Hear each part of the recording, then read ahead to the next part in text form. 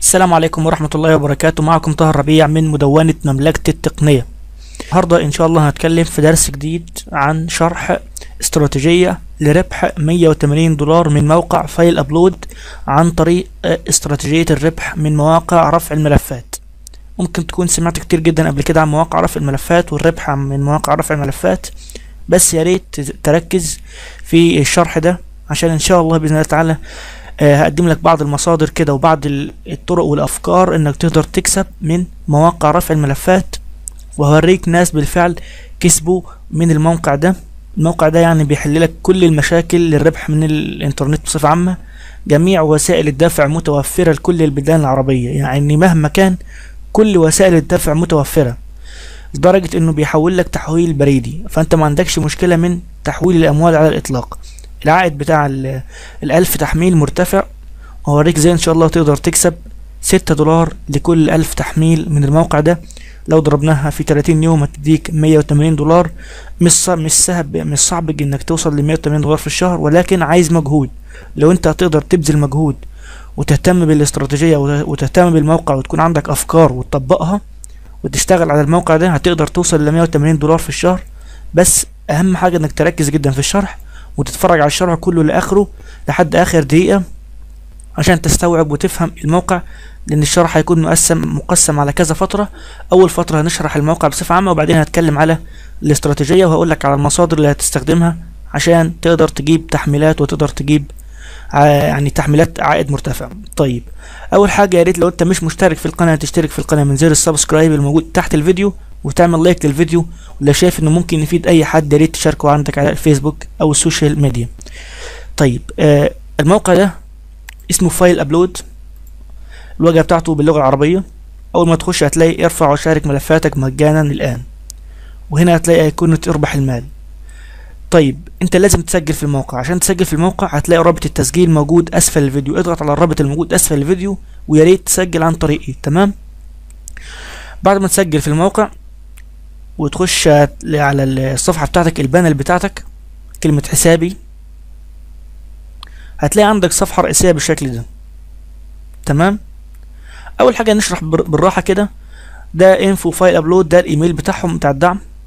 عدد الأعضاء اللي في الموقع تلاتة وعشرين ألف سبعمية سبعة وعشرين. المبالغ المدفوعة زي ما انت شايف بالدولار اهو ودي اثباتات الدفع هنفتحها في صفحة جديدة. دي اثباتات الدفع بيقول لك اسم المستخدم والتاريخ وطريقة الدفع والمبلغ. آخر حد واخد اتنين دولار واحد وعشرين سنت.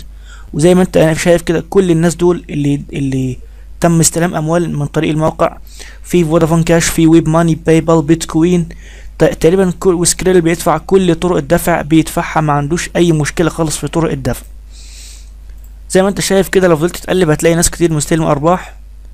عشرة دولار ستاشر دولار. كل واحد يعني لأن معدل السحب في الموقع منخفض فمحدش بيستنى أرباحه لما تزيد. تمام؟ أقل نسبة للدفع أو أقل مبلغ للدفع هو واحد دولار. بمعنى إنك لو جمعت واحد دولار فقط هتقدر تسحبه على ال Skrill بتاعك أو على ال PayPal بتاعك أو ايا كانت طريقة الدفع. ما عندكش أي مشكلة في الدفع كل طرق الدفع متاحة وأقل مبلغ للدفع هو واحد دولار والموقع مضمون بنسبة مية في المية. طيب دي أول حاجة اتكلمنا عنها الدفع.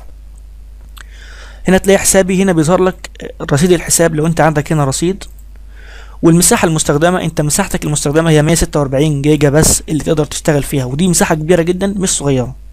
تمام؟ تطبيق مفتاح premium لو أنت عندك بقى حساب premium ده موضوع تاني. وال traffic المتاح اليوم غير محدود رابط المشاركة ورابط الدعوات الخاص بي وإحالاتي ده رابط الإحالة بتاعتك لو أنت عايز حد يسجل عن طريقك اللي بيسجل عن طريقك بتكسب خمسة وعشرين في المية من أرباحه. تمام؟ يا ريت طبعا تسجلوا عن طريقي من الرابط أسفل الفيديو. وأكون طبعا يعني سعيد جدا ومشكور وأشكركم يعني قد على قد ما أقدر. طيب. هنا هتلاقي حاجة تانية على اليمين اسمها إعدادات الحساب. البريد الإلكتروني بتاعك وكلمة المرور لو أنت عايز تغير كلمة المرور بتغيرها من هنا. وسيلة الدفع. دي وسائل الدفع المتاحة في الموقع. أول حاجة PayPal Perfect Money Skrill Payza WebMoney بيتكوين Litecoin Neteller minimum 5 دولار Payoneer minimum 50 دولار AdCash فودافون كاش Cash Plus Flexy DZ تقريبا حاجة خاصة بالجزائر. اتصالات الإمارات Egypt Post البريد المصري. ويسترن يونيون minimum 50 دولار ماني جرام minimum 50 دولار آه بريد الجزائر 15 دولار Visa card minimum 25 دولار أمريكان إكسبريس card minimum 25 دولار أمازون gift card. يعني كل الطرق متاحة لدرجة إن ممكن يديك gift card على أمازون لو أنت مش, عايز تاخد الفلوس. يعني كل الطرق متاحة بالبريد متاح بكل طرق الدفع متاحة. تمام؟ كده ما عندكش أي مشكلة في طرق الدفع. وهنا بتكتب الإيميل أو وسيلة الإيميل بتاع الخاص بالدفع بتاعك. تمام؟ أنا مختار Skrill. عندك المسؤول عن الموقع. هنا بتلاقي حاجة اسمها المسؤول عن الموقع.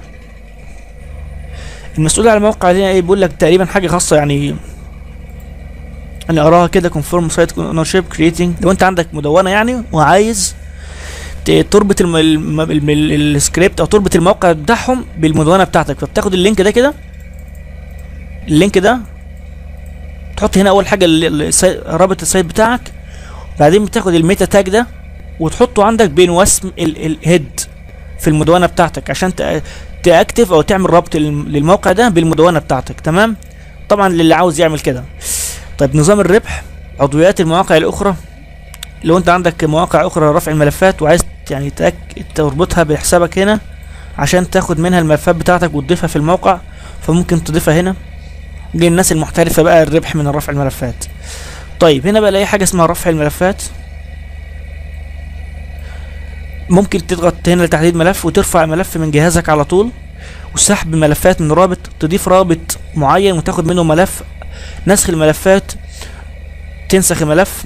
ورفع ملف torrent تجيب link torrent وتحطه هنا بيسحب الملف اللي جوه الـ torrent وبيخليه مباشر في الموقع ده.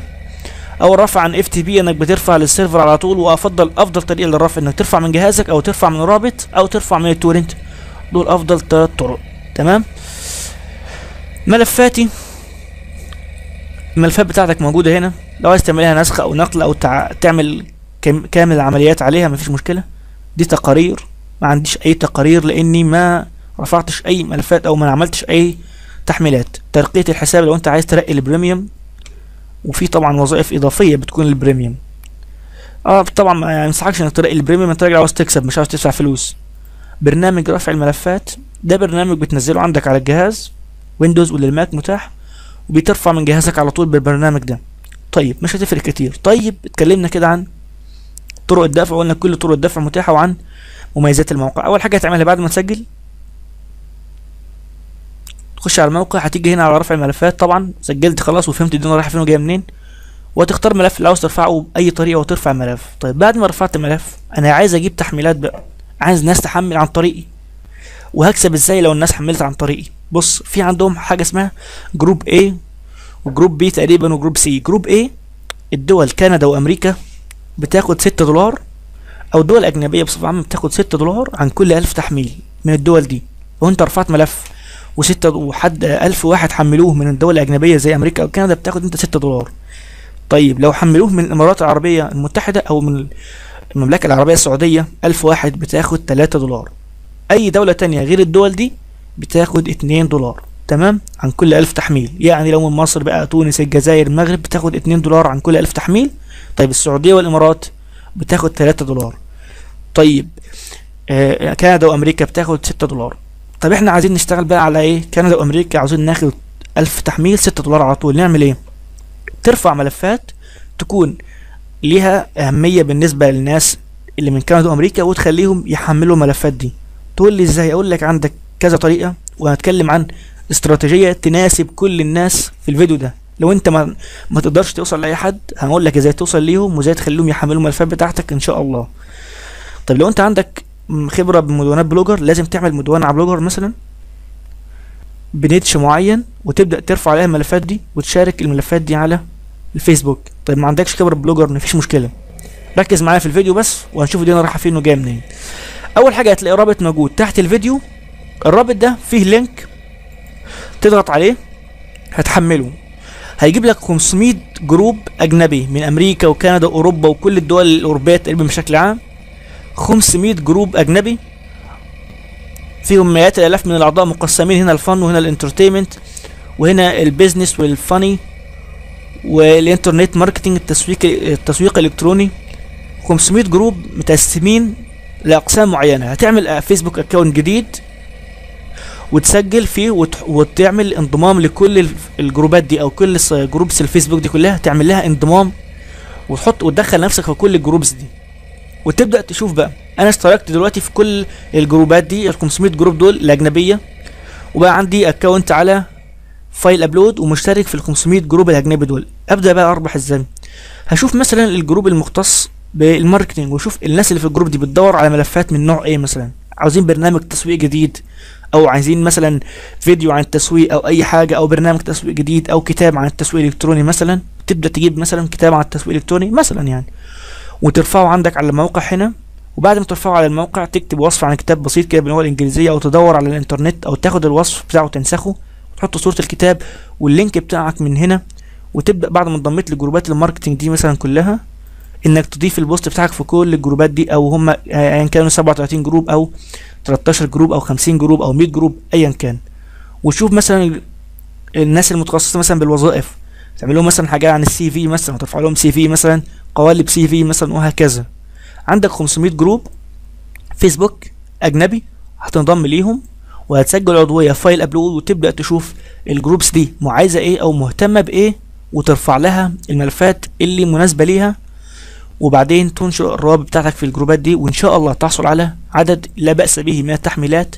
حتى لو ما وصلتش ل 180 دولار حتى لو عملت 50 دولار أو 60 دولار حسب مجهودك. كل ما تجتهد كل ما هت... هتكسب. لكن من غير مجهود مفيش تعب. لازم تشترك في كل الجروبات دي على الأقل كلها 500 group. تعمل فيسبوك account جديد عشان ما شتت ما. ما تدمرش الفيسبوك بتاعك. وتبدأ تنشر في الجروبات دي الروابط لملفات هم مهتمين بيها بعد ما طبعا ما تحملها على ال account بتاعك في ال upload. وإن شاء الله توصل لعائد محترم بإذن الله. ده كان درس النهارده. إن شاء الله لو قابلت يعني مواقع الربح من رفع الملفات يعني محترمة. هبدأ أشرحها تاني في القناة بإذن الله. اشترك في القناة. ولو في أي استراتيجية أو أي طريقة إن شاء الله هنتكلم عنها بإذن الله. طريقة مشروعة ما فيهاش أي مشاكل. لو أنت هترفع ملفات يا ريت تبتعد عن رفع الملفات اللي تضر بالناس أو ملفات المحر الحاجات الحرام أو كده عشان ربنا يبارك لك لو كسبت فلوس من الموقع. والسلام عليكم ورحمة الله وبركاته.